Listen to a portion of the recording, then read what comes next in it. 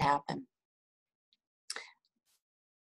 So one year of planning is boiled down to three days. Nearly 450 attendees from four countries and 17 states Australia, Canada, India, New Zealand, including students from the INTACH Heritage Academy in New Delhi and the Historic Preservation Program at the University of Florida. We hope you enjoyed this conference with 25 sessions, over 90 speakers, three special presentations with nationally recognized speakers, and two very special cocktail hour events, Wicked Sacramento and Tiki Time. and good morning and welcome to all of you out there. I'm Christine Lazzaretto, the president of the Board of Trustees. We're thrilled to be able to present this online version of the conference and want to thank you all for joining us. We are grateful for your participation and to have these three days together to share our ideas. We hope to present you with thought-provoking and challenging issues and ideas, but also provide a sense of community during this time when we can't be together in person. I want to thank the conference committee for all of their hard work over the last year to bring this conference to life. And in particular, I want to thank William Berg, steering committee chair, and Christina Dikas and Susan Lassell, program committee co-chairs. And we of course want to thank and recognize all of our speakers for sharing their work and their thoughts on this changing world for the next three days. I would like to thank all of our annual sponsors who make the work of CPF possible throughout the year. This includes critical support for our programs, along with our ongoing advocacy and education efforts. And our conference sponsors, whose contributions make this event possible. This year in particular, this support has meant so much to the organization, and we're grateful that all of our sponsors stayed with us as the Sacramento conference was postponed and all the content was transitioned to this online platform. Thank you to my fellow Board of Trustee members for all of their hard work and dedication to CPF and for their collaboration over the last several months to help guide CPF through this unique moment in history. And finally, I want to thank our amazing staff, Cindy Heitzman, Executive Director, Jonathan Haber, Field Services Director, and Christine Madrid French, Development and Marketing Director. It's due to them that we're able to be here with you today. I want to recognize their tireless efforts over the last few months. Cindy said it was a smooth transition, but it was certainly due to an awful lot of hard work and I want to thank them for their grace, creativity, and humor. And with that, I would like to welcome our keynote speaker, author and journalist Anthony Flint. Anthony is a senior fellow at the Lincoln Institute of Land Policy, a global think tank based in Cambridge, Massachusetts.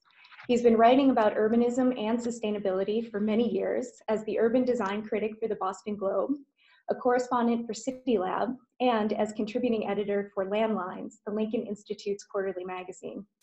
He's also the host of the Land Matters podcast. Thanks to Anthony for joining us and setting the stage for a changing climate for preservation. Thank you, Anthony. Well, thank you. It's a, it's a great pleasure and an honor to be here uh, to get things started in your virtual proceedings and uh, some virtual keynote remarks. Um, I was planning to be there in person, of course, um, and indeed focus on two crises. And here, let me just share my screen and the PowerPoint.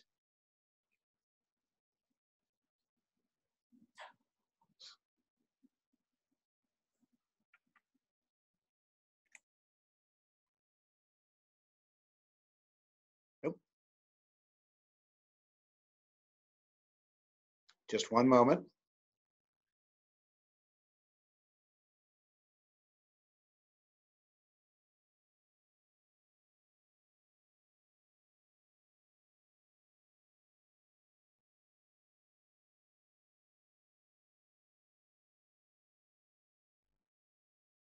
All right. Well, you see by the title, it's uh, uh, concerning uh, overlapping uh, crises. I uh, wanted to focus on two crises at first, climate and affordability, uh, to suggest that that have become important context for your work. But now nobody can physically be there and I've added a third crisis accordingly. So uh, let's see how it goes. We begin with the climate crisis. Um, this needs li little explication for this group. Um, but Here's an update just from last month. Um, researchers reported that April of 2020 has tied for the hottest April on record.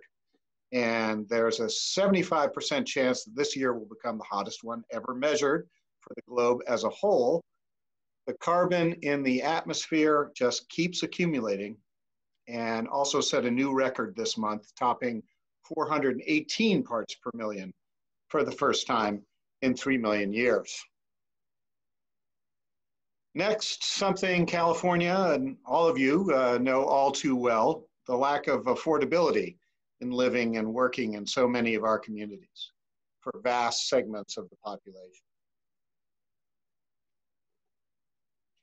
Up until this spring, we've seen a remarkable boom in cities, uh, fueled by innovation and commerce and a perfect demographic storm.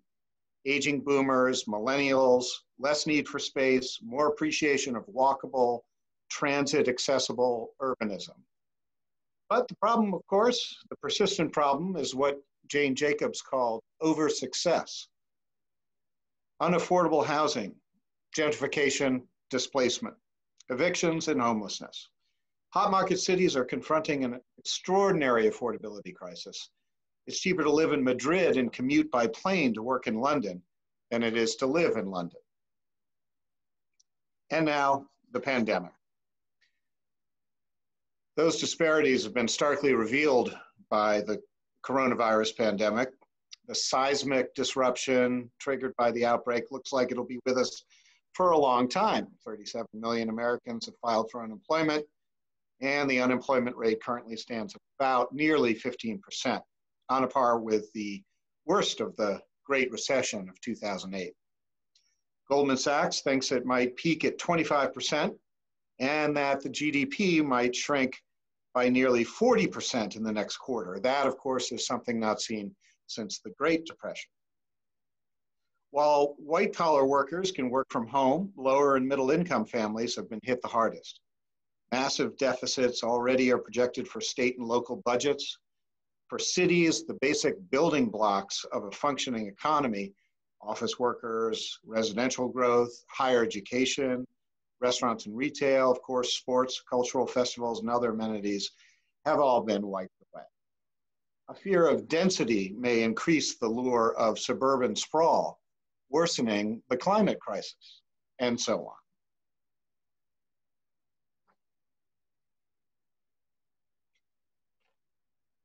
This kind of mind-blowing overlapping uh, is a big part of the current context for historic preservation and all the work that you, that you all do and the business of this annual conference.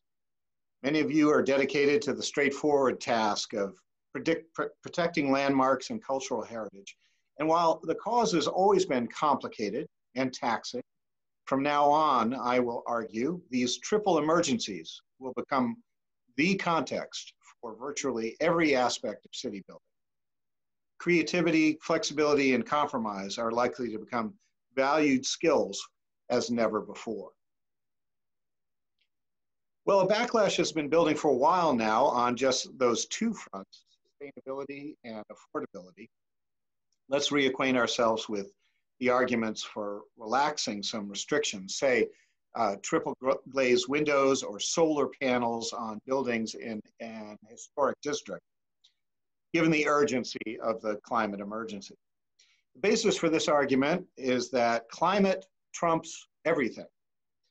That if the planet descends into mayhem later this century, things like the appearance of copper drain pipes really won't matter much there's actually similar contention within the environmental movement itself uh, to stop obsessing on obscure endangered species, for example, or to spend so much time on recycling, as important as that is, and to focus on the big stuff, reducing emissions and building resilience.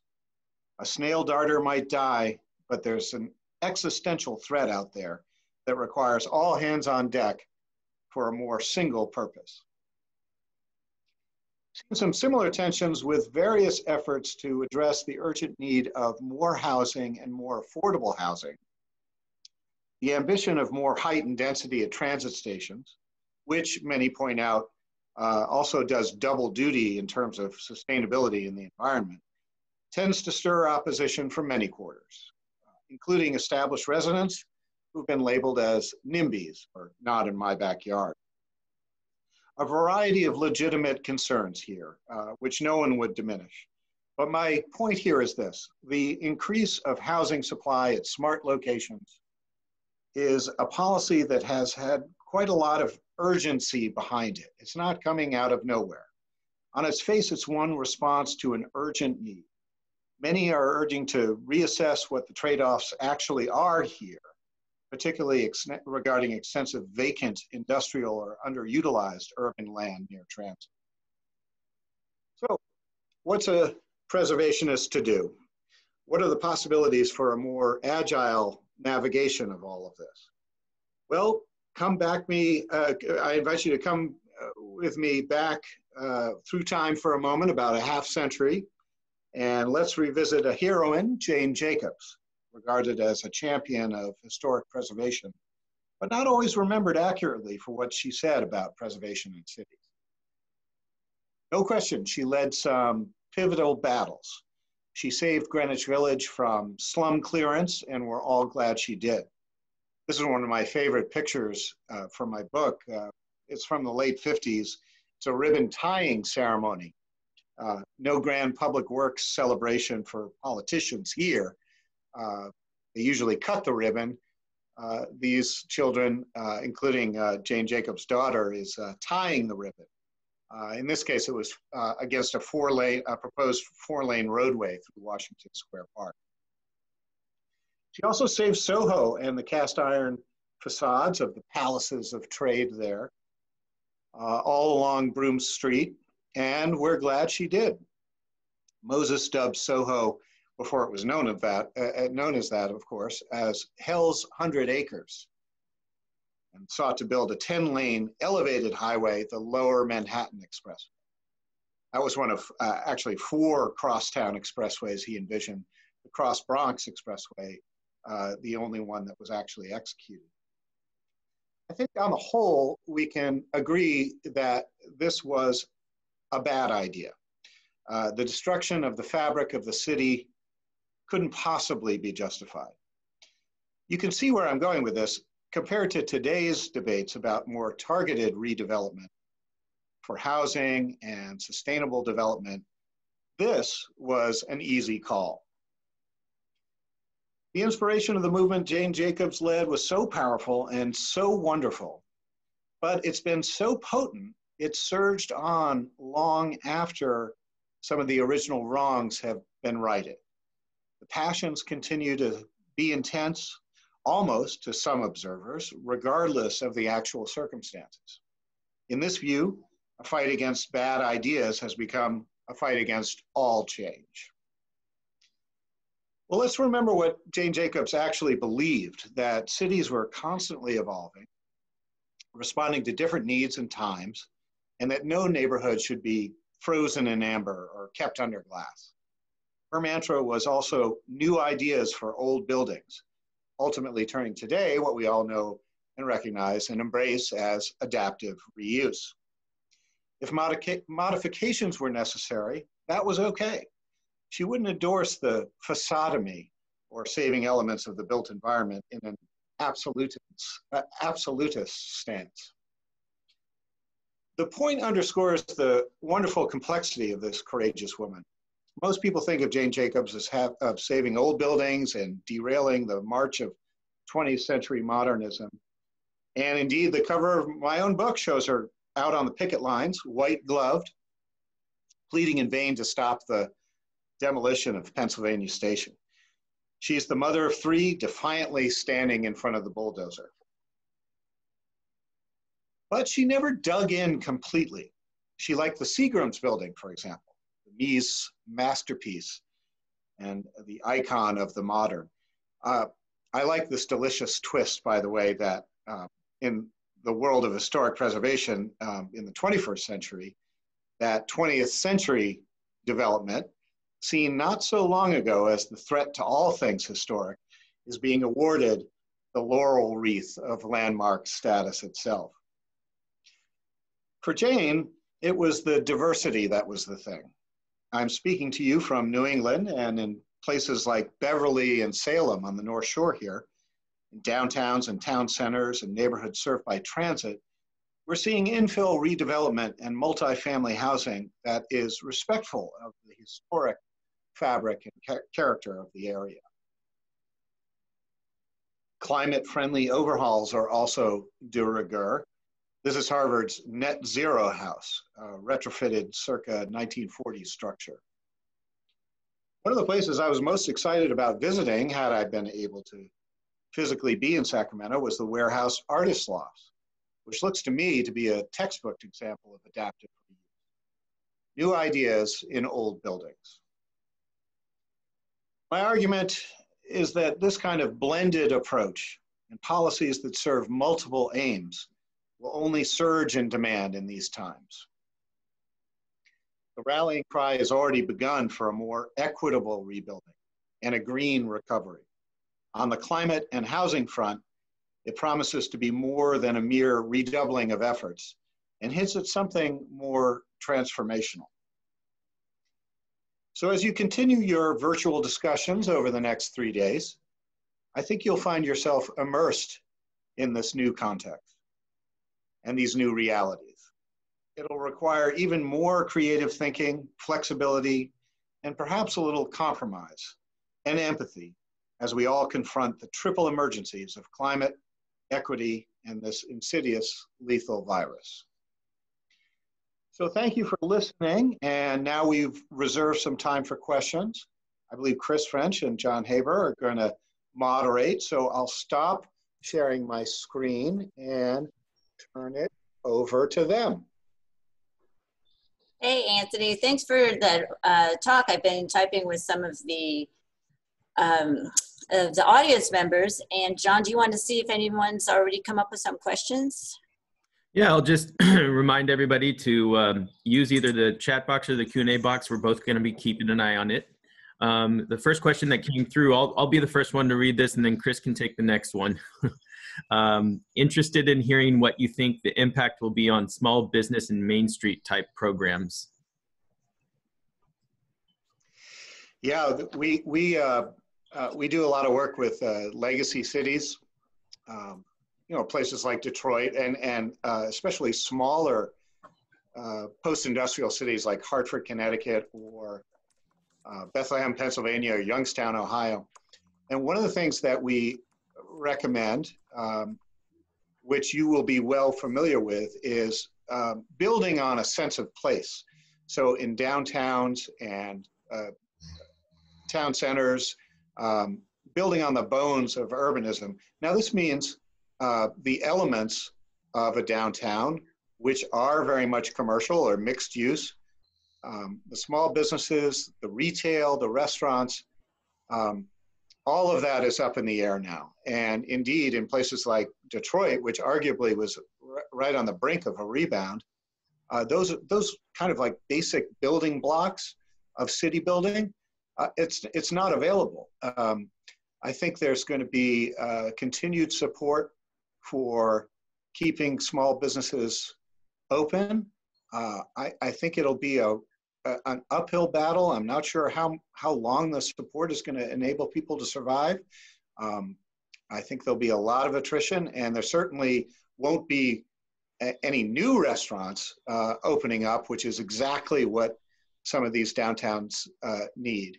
Um, and in hot market cities, unfortunately, I, there, there's, a, there's a growing perception that some of the mom and pop businesses uh, will indeed uh, go under and um, sort of larger corporate entities are, are ready to, to swoop in um, uh, and uh, take advantage of low prices and, and, and vacancies and so forth. So that, that is a dark picture. Um, and I, I, I wish it was different, but that's going to be the challenge for, uh, you know, trying trying to confront that with with sensible policies.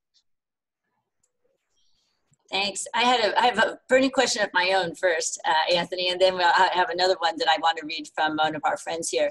I was wondering how you see, with uh, in consideration of Jane Jacobs and her work, that more and more cities are actually closing off their streets uh, to cars entirely since it's been so quiet, and then allowing pedestrians to sort of take over, partly for uh, increased social distancing. But what do you see as the as the beneficial effects? I think it's Seattle has actually closed some streets permanently at this point.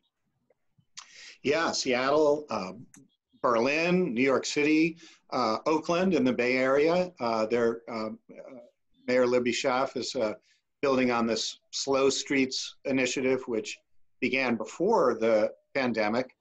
And um, I think this is one of the uh, good things to come out of this crisis. Um, obviously, encouraging bicycling and pedestrians and scooters um, is an appropriate uh, uh, mode of transportation that involves inherently uh, social distancing.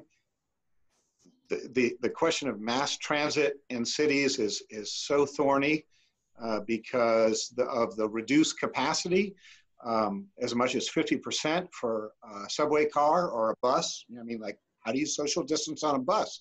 So these other modes are going to become uh, more and more important. And we should be glad for that uh, because of the environmental benefits. And of course, in, in a larger sense, we've seen uh, clearer skies and reduced emissions uh, through, through this lockdown period. So it's been encouraging to see that some of the things that made sense in lockdown will carry over uh, into our new future. Great, thanks. I have one uh, here, and then I'll let John take the next one. Uh, do you think public opinion still considers historic preservation as averse to change and compromise? And how can we convey the message that we've been compromising all along? Well, I, you know, this is a this is a great question. Um, uh, as I uh, uh, hinted at in in my remarks, uh, the the business of historic preservation is uh, you, you it, has been tough. And um, th there there's a, a reasonable approach here uh, that says you know we're we're done compromising because um, you can't just keep compromising. You can't keep uh, making exceptions for example. Uh, and and um, the the policies uh, for historic districts um, have had to be tough uh, because you know they're they're constantly under fire. So I'm I'm very sympathetic. Uh, I do think that um, the you know the Ed Glaeser argument that um, uh, historic uh, preservation and historic districts in in hot market cities uh, are you know are preventing housing construction and so it's keeping people away. Um, and uh, I do think that there is a perception that sort of like historic preservation for, for whom, um, and uh, whether it is um, sufficiently sensitive to the needs of, uh, of lower, lower income families. So I do think that perception uh, uh, persists, um, but I'd be interested to hear more about what people think about um, being compromising enough already, uh, because I do think that that you you have had to be tough uh, and really dig in um, over the last at least half century. Um, I guess the suggestion is that is that you know the, these are new times and new new realities. So I really like this question. So I am going to pick this one, even if nobody else wants me to ask it. So, um, what do you see in Jane Jacobs' work that speaks to affordability and preservation that you think we can apply, still apply today? Yeah, that's another good one. Uh, that indeed is um, sort of one of the enduring critiques of uh, Jane Jacobs' work. Um, is that Greenwich Village, which she saved, uh, it was, it was, nobody can afford to live there. It's um, uh, one of the most expensive places uh, on earth, um, and she anticipated that. Um, and she called it over success and described it in different ways. She recognized that good urban environments uh, were very quickly going to become very popular.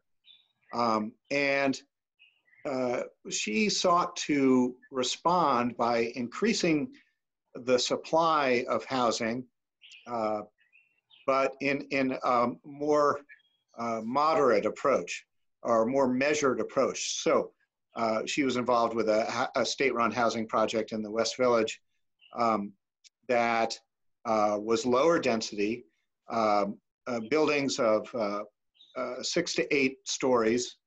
Um, and, you know, the, the critique was that uh, that's just a drop in the bucket and that what Robert Moses was doing was more height and density and nobody likes the towers in the park, but what he was responding to was the need for an increased supply of, of housing to uh, uh, take into consideration the basic laws of supply and demand in, in, in economics. So uh, there was that tension, this idea that neighborhoods like Greenwich Village, um, I mean, they're wonderful, they're quaint, they're, they're preserved, uh, but that there's uh, kind of a boutique quality um, to it. And especially if you consider global urbanization, um, that a number of Greenwich villages all around the world is just, just not going to cut it. So uh, she had um, more work to do on gentrification, although throughout her life, she, she, she recognized how um, affordability was going to be a problem in cities. So before I turn it over to Chris to ask a question, I just wanted to encourage everybody to use the raise hand function because we would love to have people ask uh, Anthony questions in person. Uh, so if you use that function, I'll be able to enable your voice. It looks like somebody just did that. Should I uh, should I have this person ask this question? Sure. Let's see what they got. All right. So I'm going to allow Allison to talk. And Allison, all you have to do is enable your microphone. Hi, can you hear me? Yeah. Yep. Hi, Allison Rose Jefferson from Los Angeles. I'm a, a, public historian and heritage conservation consultant. So how do you see, um, uh, we're here on the West Coast in California. How do you see Jane uh, uh, Jacobs' uh, thoughts on um, preservation in a place where urbanism is different than the context that she was writing in in uh, New York. And so we have some density that's vertical, but we have a lot of density that's horizontal. So what are your thoughts on the applications of her uh, philosophy here in contemporary times? Yeah, it's a great question. Uh, places like LA uh, actually uh, by some measures, uh, one of the most dense places uh, in the country.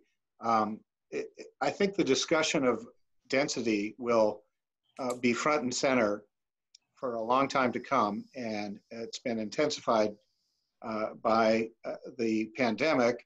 Um, and the basic ingredients of a successful urban neighborhood for Jane uh, was um, was pretty much all in all in her handbook, her owner's manual. Uh, mixed use, diversity, um, uh, more human scale development of, uh, say, brownstones of five or six stories, um, ground floor retail, um, and uh, I think that landscape is applicable to places like uh, LA with the different uh, uh, nodes and um, concentrations of, of density in, in the various neighborhoods and, and the town centers and downtowns of those neighborhoods.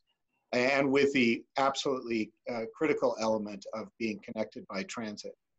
Um, so uh, I, I, think what LA has been discovering is is uh, just how this sort of polycentric you know set of urban villages uh, can actually uh, can actually work um, and you might begin with downtown Los Angeles but uh, all of the many other neighborhoods um, you know, play a role in that sort of more polycentric uh, urbanism, which I think Jane Jacobs would support.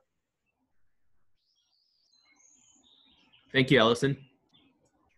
All right, um, I have one, uh, Anthony. Uh, we do have some students and um, some of our colleagues are tuning in from uh, New Delhi, India, and we have a question from there from the INTACH heritage. Uh, with urbanism, cities tend to grow, which most of the times result in naming cities as old and new. For example, Old Delhi and New Delhi. So should we preserve old cities as by freezing them to an era and then let the new cities grow? So would you have sort of one that you keep sort of encapsulated and then grow in another section? I know this has been something that Jane Jacobs was involved with, um, same with Robert Moses and modernists in particular. Yes, well, when we think about global urbanization uh, and uh, these uh, vast uh, growing cities, um, you uh, have to look at the concentration of people and primarily poor people in the developing world at the periphery of these incredibly large cities and also of informal settlement, which by the way, Jane Jacobs actually ha had uh, some positive thoughts about uh, the way that informal settlement um, organically uh, comes together was something that she was very much interested in. Um, and uh, the, the uh, problem though is that these areas um, are, are just not sustainable because there are inadequate basic services, sanitation, electricity and, and so forth. Um, and, and so there's, there's a lot of suffering. So uh, we can't really, we have to be careful not to romanticize uh, these, these aspects of, of informal settlement. In terms of the uh, historic city center, uh, that again, you know, has had this incredible commercial value. Um, and, uh, you know, I think all many of you are on guard against this idea of you know, um, a, a, sort of a faux historic uh, character or, you know, sort of ye old uh, Delhi uh, or wherever it might be.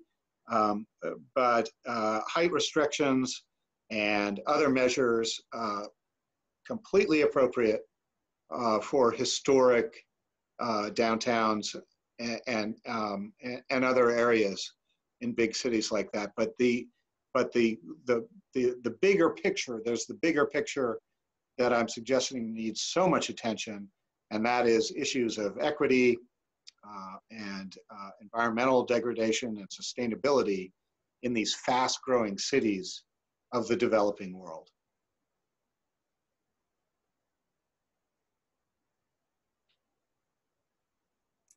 John, you're on mute. Thank you.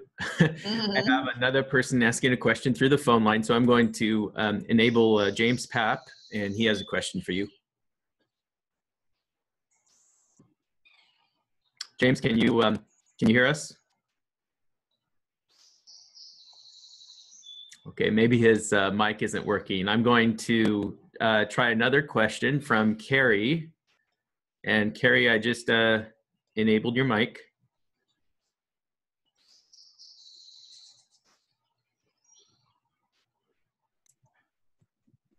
Okay.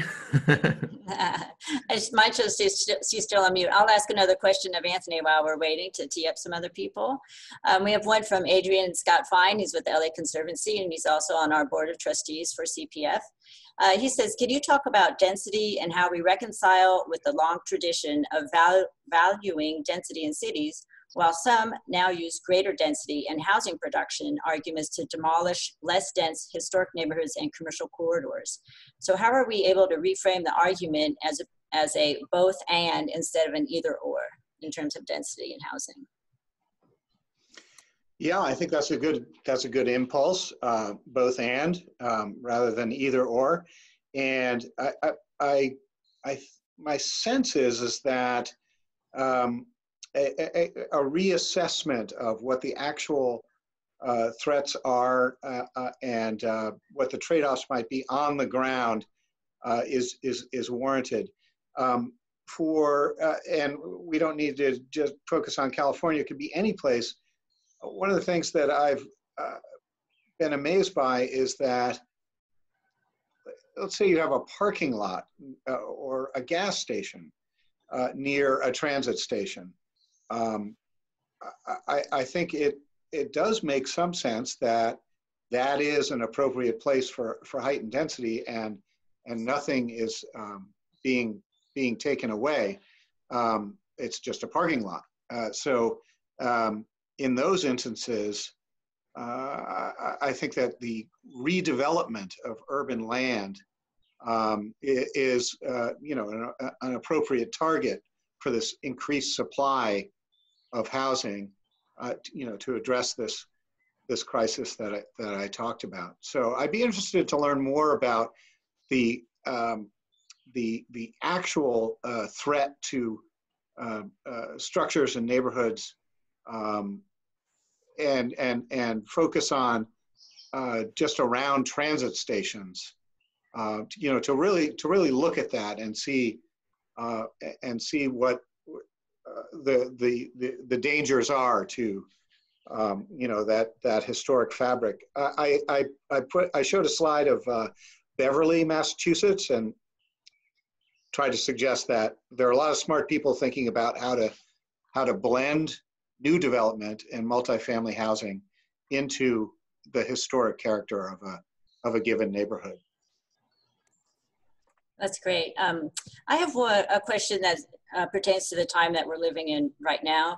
As a humanities scholar and an author, I have this is sort of a two-part. One comes from uh, one of our audience members, Sean. Uh, it's about you know COVID has shown that many employees can work effectively from home, like we're not even going into the office anymore. Uh, do you think this will create a unique opportunity to reuse underused office space for residential use in city centers? And then slash, how are you looking at uh, the current situation as a writer and how you might be interpreting that uh, today as we go along? Yeah, I um, the the the workplace uh, and office space scenario is is really tricky um, in in some sense. Uh, companies might seek a, a, a, bigger floor plate and and more space so that they can spread out. Um, but the more likely, I think, especially in the short term, the more likely uh, choice will be to continue to let workers work remotely um, and uh, get business done by other means online, just like we're doing here. And I think interestingly, that might open up, that might ultimately take some pressure off of hot market areas like uh, LA or San Francisco or the Bay Area. Um, because if we think about a bigger uh, catchment for uh, uh, the labor and housing markets, um, people can work farther away from the urban core uh, and when they need to get in, the, the key is how they get in when they need to when they need to come in and, and work face to face. So uh, I think one way to look at this that is helpful um, is I, I, wrote something about, um, uh, and this addresses the second question. I wrote a, an essay for City Lab about uh, mega regions and thinking uh, in terms of a more regional approach to how uh, urban economies actually function. So you take the Northeast, or just take the just take uh, New York to Boston corridor. Um, places like Hartford, Connecticut, might become more prominent as a more affordable uh, uh alternative. And if there was a way, say through high-speed rail, uh, to get quickly to Boston or New York, um, that would make it just as good as living on the Upper East Side or uh, in some of these gentrifying neighborhoods. Um, and uh, the regional approach, I think, is being embraced already because you see the governors of these many states coordinating on uh, the recovery. Um, uh, you know, they're looking at things as simple as, well, if we keep this beach closed and then across the border another beach is open, you know, how is that going to work? So uh, uh, it, has been another byproduct, I think, of this crisis that uh, regionalism may may have a new moment, and there might be more recognition that it really is a, a very sensible framework uh, to look at uh, the recovery and and beyond. Um, uh, final point. Uh, I, I, would direct you to uh, this was in the City Lab essay, but uh, the work that's going in on in Northern England. it's called the Northern Powerhouse Initiative, and um, this is improving the uh, higher, higher speed rail infrastructure connecting post-industrial cities in the north of England. Um, and so these kinds of transformations uh, may, may well uh, come out of this. um, I have a question. I, am I'm, I'm, I'm merging about eight questions that came in through the Q and A box. So it's really a, a question from almost eight different people. So, um, and and I'm going to try to paraphrase. That's not fair. as much as possible, I'm going to try to paraphrase what what is in all of these questions. But all of them really have to do with the ecological uh, impact um, of uh, demolishing buildings, but also vice versa, saving buildings in terms of um, the embodied energy in these buildings, and sort of the ecological argument for historic preservation. Um, and they're also asking questions about resiliency and climate change and all of these bigger issues that um, tie into historic preservation, which, of course, as you know, is the theme of the conference this year. So I think what they're all curious about is how do you make that connection what can you do to argue for historic preservation from an ecological uh, standpoint? Well, I think it's a very powerful argument, the um, embodied energy uh, uh argument. Uh, I recall that um, it, it, was uh, brought forward to great effect in um, a uh, debate we were having here in Boston about the Boston City Hall. Um, and there, there were uh, plenty of arguments for and against, but uh, uh, one, one that gave a lot of people pause was, well, you know, what, what is going to be involved with actually demolishing this thing? Um, so, and, and of course, you know, is, is, would it be worth it? What's the trade-off? Um, so I think that's a powerful argument. I also think, as I suggested in the remarks, the um, uh, adaptive reuse and uh, net zero buildings, uh, going into abandoned factories and making them maker spaces and making them, you know, totally LEED certified and, and, and green um, uh, bolsters the, the, the cause in some, some important ways. Um, I guess what I'm a little bit worried about is, is the bigger picture. Uh, so uh, a project like that is, is fantastic, but the bigger picture is um, increasing housing supply and uh, uh, doing uh, rede urban redevelopment and infill uh, at transit stations uh, with, with greater height and density, especially on vacant land. Um, that that's, that's speaks to the bigger picture, not only to the housing crisis, but to the climate crisis more people using transit, uh, living in a compact setting, uh, of course, is very energy efficient as well. Cities are actually one of the most energy efficient places per capita, as you, as, as you all know.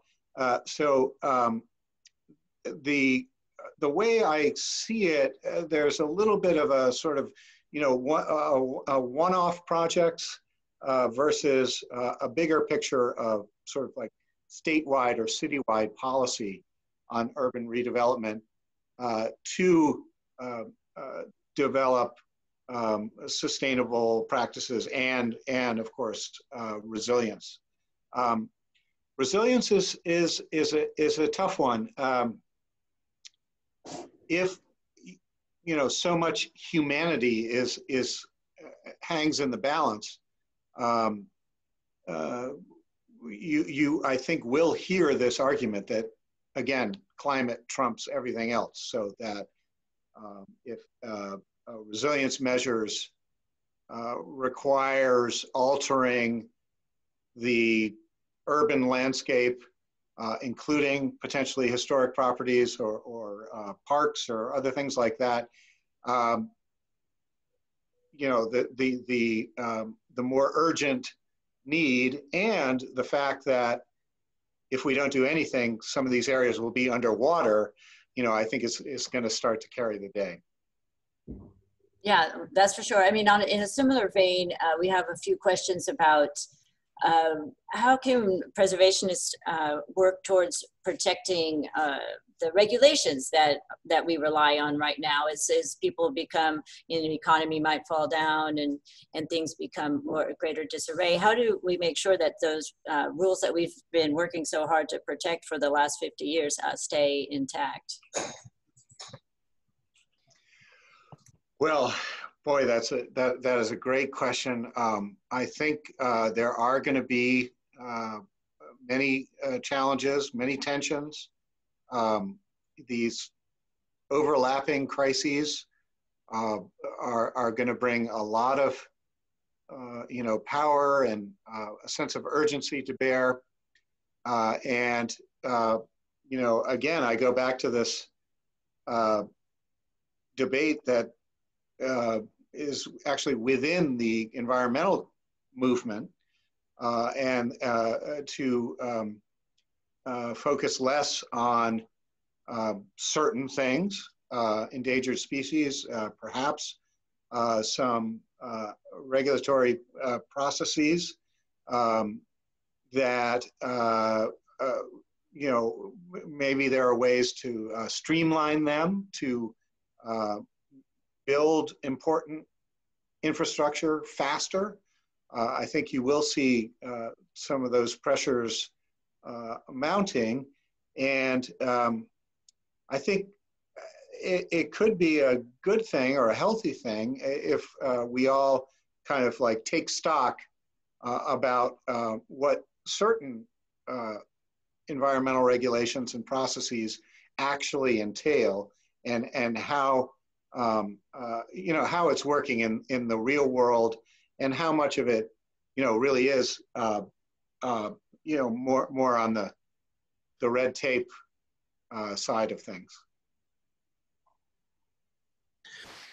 Okay, so I have another question about uh, climate, um, and this comes from Anthony. He's um, he says there's been a lot of talk about uh, the concept of climate gentrification and uh, the idea that low income, diverse communities are often vulnerable to displacement as wealthier people uh, seek higher ground that previously wasn't as desirable. Um, and you are you aware of any examples uh, anywhere that um, cities are using to sort of proactively attack this and uh, prevent such displacement? Yeah, it's a real problem, um, and uh, uh Miami, I guess, uh, uh, is a place that I would point to. Um, and indeed, um, the the the phrase that was coined uh, regarding climate gentrification, I think, um, a Harvard professor, uh, was about places like um, uh, uh Little Havana, Havana uh, uh, and um, and other areas in, in Miami that were a little bit inland, and you know you started to see this kind of real estate speculation and um, and this notion of, of climate uh, fuel gentrification. Uh, a lot of other factors uh, involved there, but but yes, that is that is um, that is something that is happening. So one solution is uh, I, I, I, wrote a piece called uh, "The Riches of Resilience," which I, I can share via chat or uh, somehow otherwise get out to you. That's in uh, Landlines magazine. And it's an approach of looking at uh, the sort of the higher end real estate development, which you don't have to look very far to find in Miami. Um, and uh, the uh, big new towers that benefited from a zoning change, for example, uh, or a lifting of a height restriction or any government action that paves the way for a luxury tower um, is um, uh, a moment where uh, the local government can say, hang on a second, uh, uh, we, we have paved the way for this incredible increase in value. Uh, this, this is the concept of land value capture. So it can be used as a way to help fund uh, resilience infrastructure, including green infrastructure. And in those places, wealthier areas to be sure, uh, that can be the front lines of, of resilience if you kind of rethink uh, the value proposition um, uh, of, of that kind of uh, urban real estate development. Um, and so that's one example of, of, of taking approach. They're looking at everything. They got a, they have a chief resilience officer there who's very good. Um, and uh, they um, have passed a bond issue uh, that is um, uh, really distributes uh, the funding throughout the many neighborhoods of, of Miami uh, and sensitive to this idea of climate gentrification. But that's one approach where uh, we can uh, recover some of the value that's created by government action uh, to fund uh, resilience efforts that benefit more people.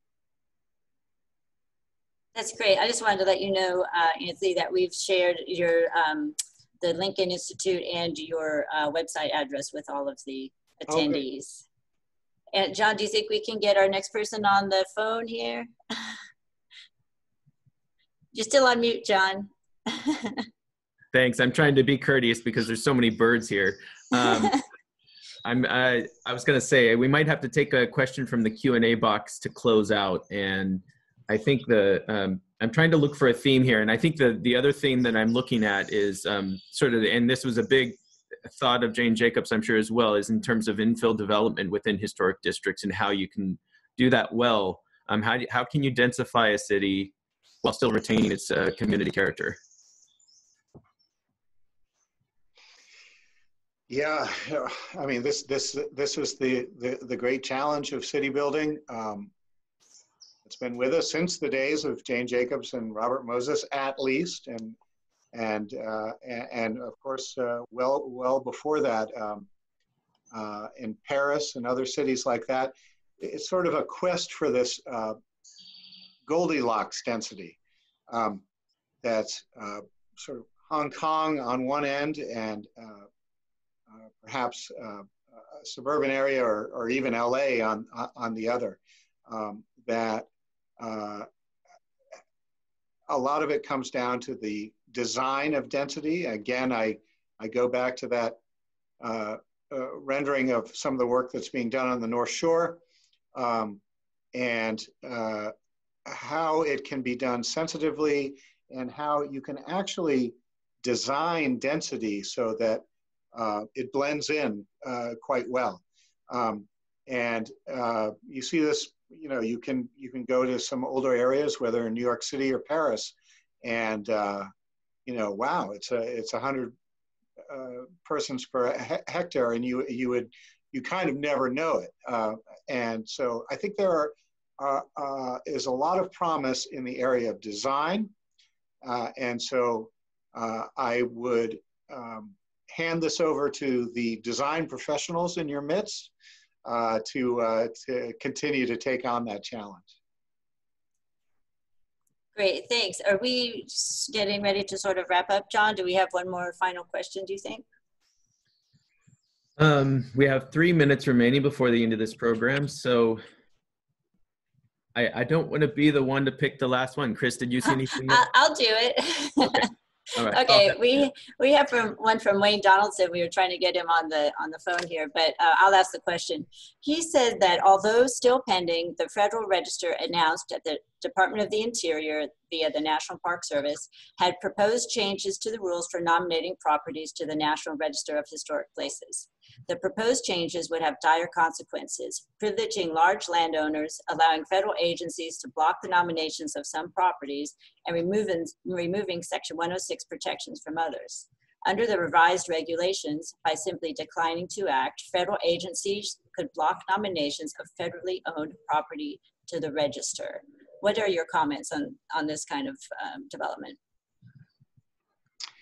Yeah, gee, I'm not, so th- this has gone beyond my pay grade. I'm, I'm not familiar uh, with those specific uh, uh, changes, although I, I do have just a general knowledge of uh, the current administration's uh, views on uh, such designations um, and favoring certain industries and, and, and landowners. Um, you know, you get the sense of a sort of a swing of the pendulum uh, uh, that that actually can appears to be quite severe.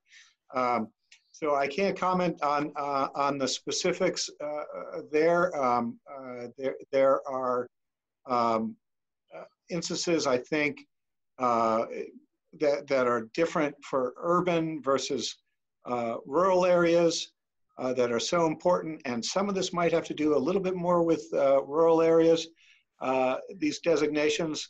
Um, and uh, it's something that you're right to uh, be on guard about. Um, uh, no question. Um, the the current administration poses many challenges for cities. I guess I would just leave it at that. Great. Uh, well, we're approaching the end of the program. I wanted to thank you, Anthony, for your time. And we did get some notes from Sacramento saying that they're sorry you couldn't come visit the city in person, but maybe soon enough you'll have a chance to do that. Can you uh, share where else people can uh, keep up with you or find more of your information?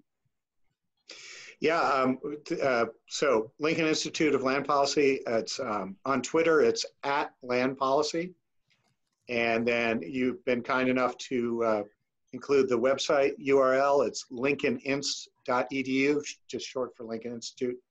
Um, and uh, we're on Facebook, uh, uh, we're on Instagram, we're uh, uh, communicating uh, as best we can. I've um, started this Land Matters podcast, so people might be interested to tune into that if they listen to podcasts. Um, and uh, that's the way you can keep up with all of us here at the Lincoln Institute. Great, thanks so much. And I wanted to just remind everybody who's on this session that we have three uh, whole days of exciting programming, including free happy hour events on Tuesday and Wednesday. And you can find information how to sign up on our website. And also John is sharing uh, information in the chat for how to uh, determine which uh, session you want to go in next. We have paired sessions through the rest of the day. So uh, thanks again, Anthony. And John, do you want to wrap it up? Yeah, just a reminder to uh, thank everybody and thank Anthony. And also, uh, you'll when you close this webinar room, you'll be presented with a feedback form, and we want to hear what your thoughts are about today's conference and throughout the rest of the conference. Just let us know how how you thought everything went. So, have a great day, everyone. Great, thanks so much. All right, thanks, Anthony. Bye. Bye.